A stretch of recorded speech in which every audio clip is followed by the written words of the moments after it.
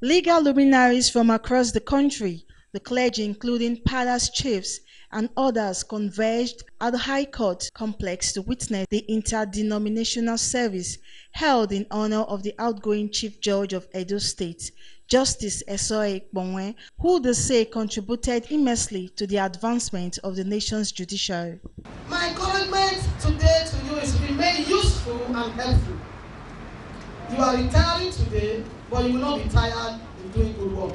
At a valedictory section, legal doyens extolled the retiring Chief Judge's style of leadership. They say she dispensed justice without fear or favor. Career is an individual metaphorical journey through learning, work, and other aspects of life.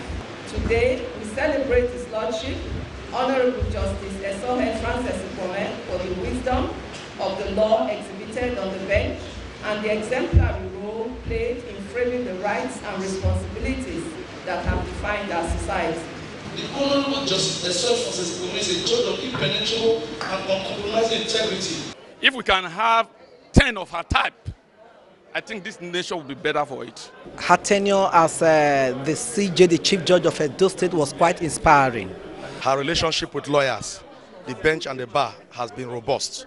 The outgoing chief judge, who is visibly overwhelmed, attributed her achievements to God's benevolence and the unflinching support by members of the bar and bench.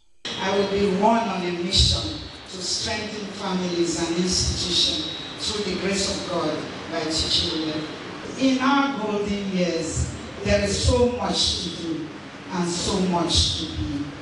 I have been counseled not to withdraw from life, but rather continue to work for God and humanity.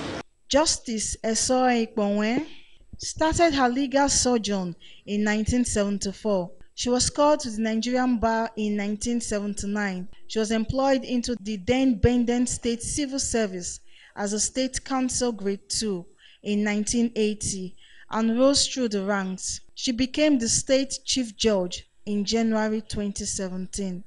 In Benin, Joy Egbo, NTA News.